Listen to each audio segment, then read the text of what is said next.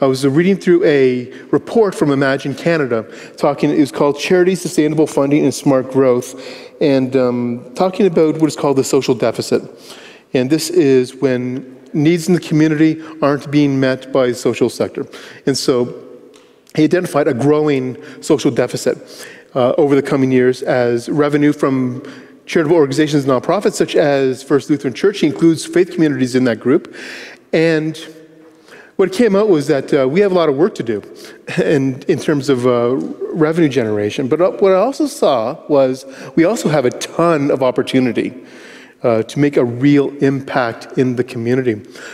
One of my goals, and I've shared this with you before, and it's part and parcel with the building project and other uh, programs and uh, activities we have going on, is that in five years, I have, okay, don't ask me how I'm going to do this or how we're going to do this, but this is my goal for us, is to have revenue generating activities that meet our overhead so that offerings can go to mission.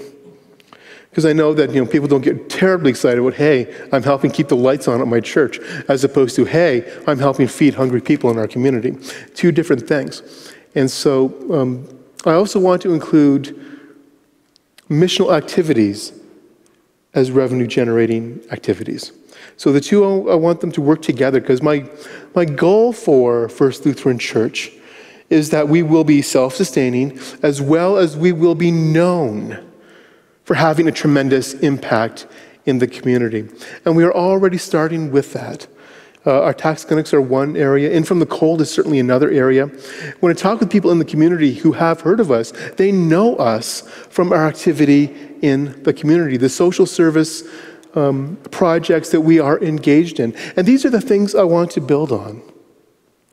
Last week, a couple weeks ago, when we had our strategic planning and board governance meeting with council and then with staff, we identified a whole whack of stuff we want to have done. I said, what's a perfect church look like for you in five years?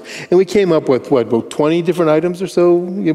And so we're going to be looking at those. That's going to make the bulk of our council meetings until the AGM, which is on November 19th. And then we're going to bring it to you guys to vote on. So this is something we will, will be doing together.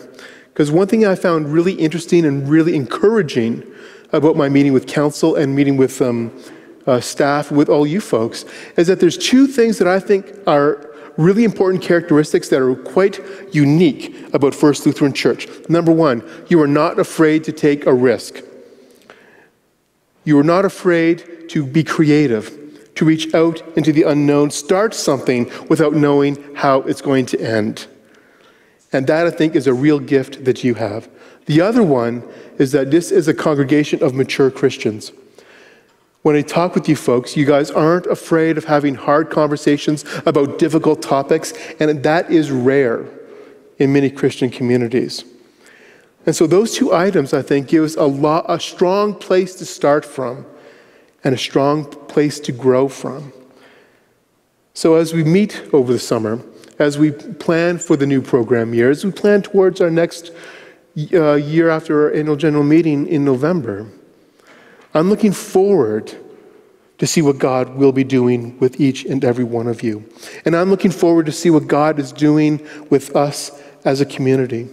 Because when I look out at this congregation, I see a group that is wildly gifted, a group that can really make a strong impact in the world around them, and a group that wants, that wants to make a strong impact.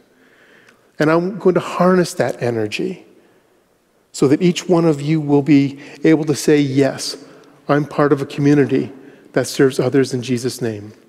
Amen.